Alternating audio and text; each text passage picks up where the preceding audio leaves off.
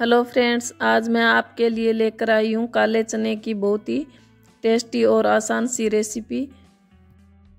इस तरीके से काले चने की सब्ज़ी बनाओगे तो सब्ज़ी बहुत ही टेस्टी बनेगी।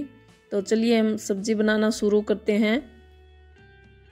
मैंने यहाँ पे काले चने आठ से दस घंटे के लिए भिगो कर रख दिए थे। चने अच्छे से धुले हुए होने चाहिए, क्योंकि जिस पानी में हम चने उबालेंगे, वो पानी फेंकेंगे नहीं। सब्ज़ी बनाने में काम लेंगे। चने कुकर में डाल देंगे। साफ़ पानी डालेंगे। पानी डालते समय ध्यान रखें, पानी कम भी नहीं होना चाहिए और ज़्यादा भी नहीं होना चाहिए। चने पूरे पूरे डूबे हुए होने चाहिए। नमक डालेंगे एक चम्मच। कुकर का ढक्कन लगाकर दो से तीन सीटी लगा लेंगे। एक कटोरी में आधा छोटी चम्मच हल्दी डालेंगे, दो चम्मच धनिया पाउडर डालेंगे, दो चम्मच लाल मिर्च डालेंगे और थोड़ा सा नमक डालेंगे। नमक डालते समय ध्यान रखें, चने में भी नमक डला हुआ है तो कम ही डालना है नमक। दो बड़े चम्मच दही डालेंगे और इसे मिक्स करके छोड़ देंगे, जिससे हमारे मसाले अच्छे से फूल जाएँगे और तेल गरम करेंगे। तेल गरम होते ही जीरा और हींग डाल देंगे। हींग और जीरा चटकते ही बारीक कटी हुई हरी मिर्च डालेंगे। दरदरा कुटा हुआ लहसुन और अदरक डाल देंगे। कुछ सेकंड के लिए पकने देंगे और बारीक कटे हुए प्याज भी डाल देंगे। इन्हें गोल्डन ब्राउन होने तक पका लेंगे।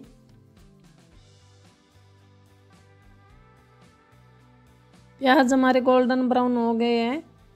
दही में जो मसाले मिला के रखे थे, वो डाल देंगे।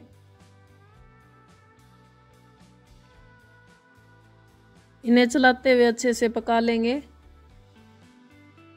कड़छी को जल्दी जल्दी चलाते रहना है, नहीं तो हमने जो दही डाला है, वो फट जाएगा और सब्ज़ी अच्छी नहीं बनेगी। थोड़ा सा पानी डालेंगे और इसे अच्छे से तेल छोड़ने तक पका लेंगे।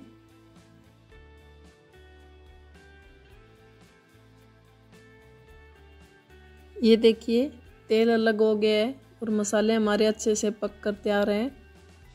चने भी हमारे बॉईल हो गए हैं। ये देखिए, इस तरीके से देखेंगे।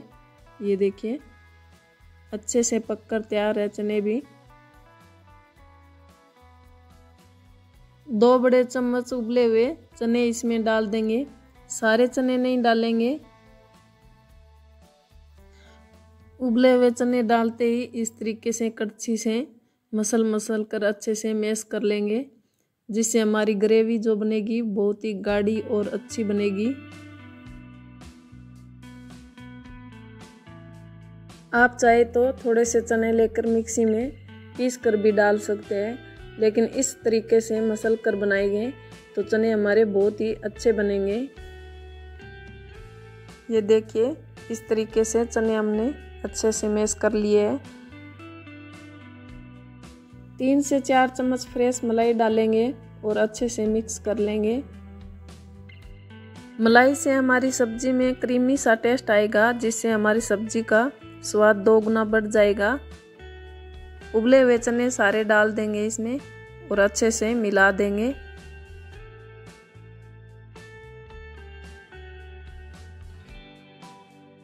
एक चम्मच छोला मसाला डालेंगे और इसे भी मिक्स कर देंगे।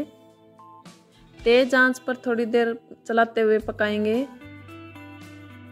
आँच को धीमा कर देंगे और ढक कर पकने देंगे। बीच बीच में इस तरीके से चलाते रहेंगे।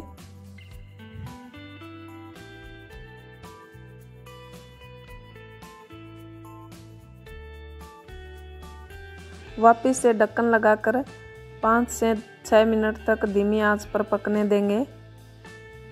ये देखिए, कितने अच्छे हमारे छोले बनकर तैयार हैं। आप देख के ही पता लगा सकते हैं, छोले हमारे कितने करीमी, मसालेदार और चटपटे बने हैं। ये देखिए। आप भी इस तरीके से बनाइए, खाइए और कमेंट करके ज़रूर बताइए कि कैसे बने हैं छोले। तो चलिए हम छोले सर्व करते हैं। रोटी, पूरी, पराठा, चावल किसी के साथ भी खा सकते हैं।